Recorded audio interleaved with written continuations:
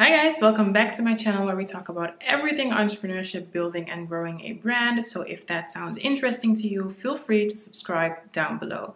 If you like my content, feel free or please give me a thumbs up so I know that you like my content.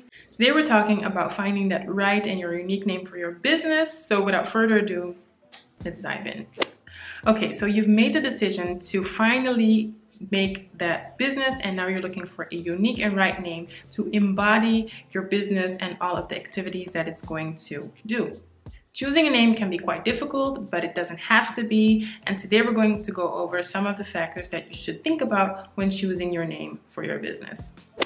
So the first thing that you should do is to have a brainstorm session. This is quite obvious, but just sit down and think about all of the names that come up doesn't matter where the names come from, just think about all of the aspects that you want your brands to convey, write them down, think about all the names that you like, write them down, and just have a long list of names.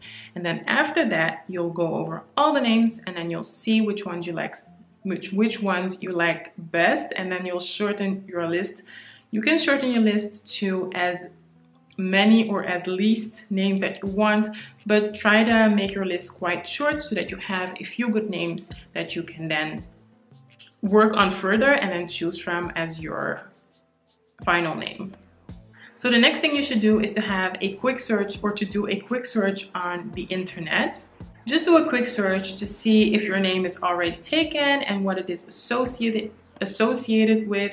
You don't want to pick a name that has like weird associations you don't want that. Another reason why you want to do a quick internet search is because you don't want to use a name that somebody else is already using for their business. So that's why it's also important to just run a quick check on the internet and see what's out there about the name that you might want to choose. Next step is to keep the name short and simple.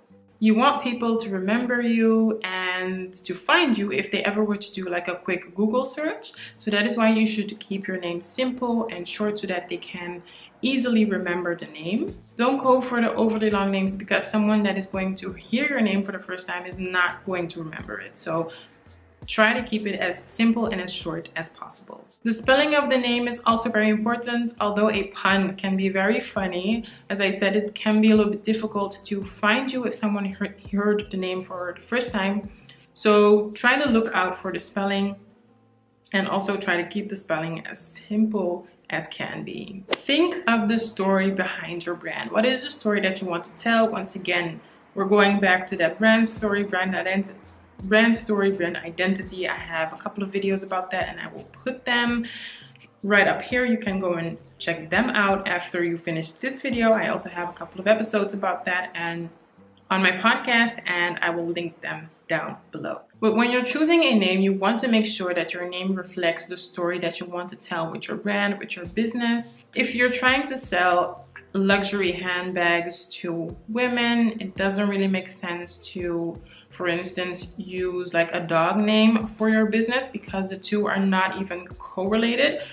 You can do what you want, but I do think that it's important to pick a name that will reflect the story that you're trying to tell so that you can use your name to further strengthen and validate your identity and your values people are definitely going to ask you why you chose a certain name. So you got to be prepared and have that story ready because people are going to ask you. So make sure that you have a good story and that the reason why you chose a certain name really reflects the identity of your brand, of your business, of the whole story behind it. So the next thing that you want to do is to pick a scalable name. The last thing you want to do is to pick a name that is too narrow or too specific and that is going to limit you and the activities that you want to do with your business. So again, if you're selling high luxury handbags to women, you don't you might not want to choose luxury handbags for women because you don't know. You'll in the future you might want to start selling to men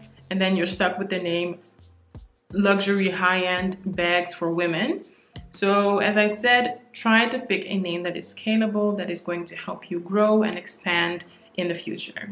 Okay, so the next thing that you should think about is to make sure that you can get your hands on the domain and also on the social media handles of your name that you're going to choose because we live in a digital age even if you're not selling something, you need to have a website. You need to have your place on the internet. And before people are going to decide if they want to purchase from you, if they want to work for you, or with you, they're going to take a look at your website. That's why it's important that you have your own little space on the internet so that you can portray your business in that space as you want and that people can see what it is that you actually want to portray for your business. So people are going to search for your business name, for your brand name. So it's important that your brand name figures in your domain name.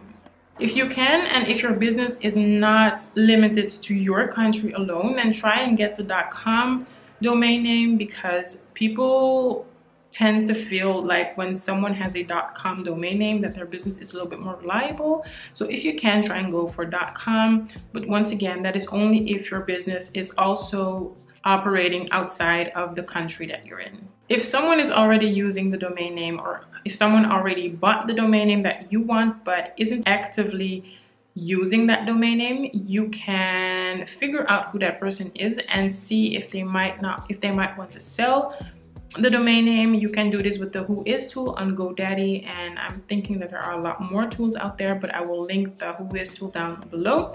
That way you can see who is the owner of a certain domain name and just send them a little email see if they want to sell it or not just so that you can have your business name in your domain. That's very important. Okay, so the last thing you should do is to take a look at your competitors. If you're not creating a whole new product or a whole new service, make sure that you take a look at your competitor's name, what are they using, and don't go for something similar. You don't want to do that. You don't you don't want people to mistake you guys for this being the same brand. And also you don't want to get sued especially if you're if you're offering something similar. All right you guys i hope you liked this short video and that it was helpful. If it was leave me a little comment down below. Thank you for watching and then i'll see you in my next one